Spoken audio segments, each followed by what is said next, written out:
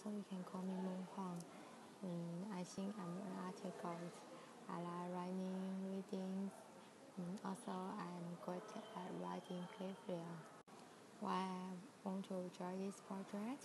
Um, because I think this portrait can deliver my English spoken, um, some exercise abilities and team spirit.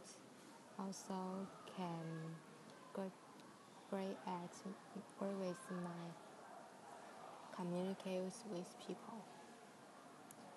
Why I want to go to the USA because I want to know about American people's living style and look at these superpower countries instead of